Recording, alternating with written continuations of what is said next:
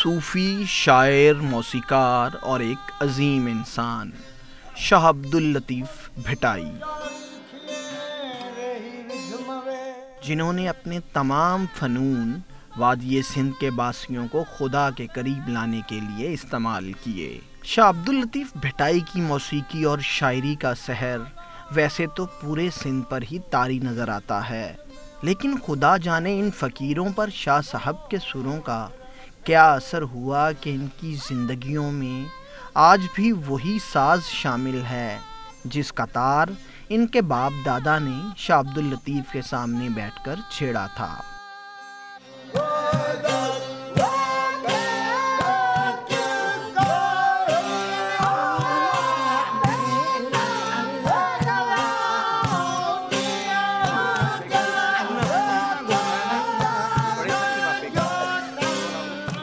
ये रस्म तो पहले सरकार आके आगे बैठता था फकीर जो थे ना उनको ये कलाम सिखाया था ये मूसीकी सिखाई थी। आप बैठते थे आगे और फकीर गाते थे। ये हम छोटी नस्ल हैं ये हाँ समझे पहले बड़ा दादा था हमारा उसने पचास साल उसने हाजिरी दिया फिर उसके बाद में हमारा दूसरा दादा था। भिड़शा आने वाला हर जायर जब दरबार में दाखिल होता है तो ये तंबूरा उसे खुद अपनी तरफ़ खींच लेता है। और फिर अगर किसी को सिंध की ज़ुबान भी आती हो तो सोने पे सुहागा है।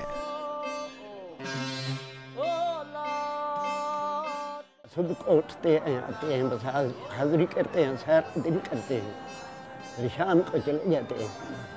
और इसके हमें और कोई इरादा पसंद नहीं है, बस। यही तंबूर है और हम हैं, बस।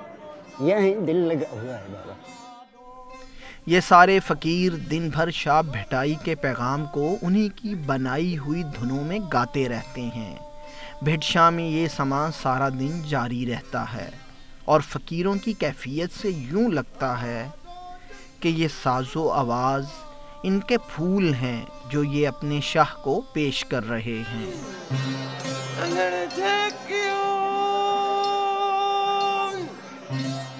मैं ऐसे समझता हूँ कि सरकार हमारे आगे बैठा है।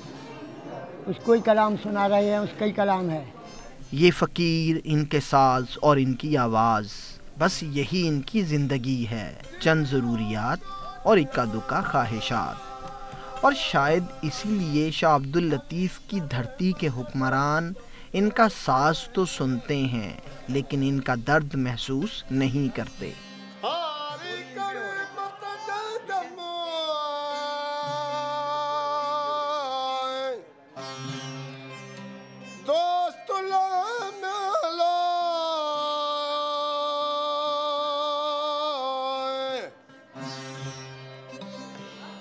किसको कहे? कोई सुनने वाला है? हम बीमार हैं। मेरी छः ऑपरेशन ही है। एक बाईपास है मेरा। सरकार का कलाम पढ़ते हैं दुआ मांगते हैं कि खैर होए बिल्कुल। ये जो मारा मारी चल रही है ये नहीं हो सकून हो शाह के फ़कीर शाह का साज बजाए जा रहे हैं और पैगाम फैलाए जा रहे हैं। और इस पर अमल करने वाले अपना अमल कज़ा किए जा रहे हैं।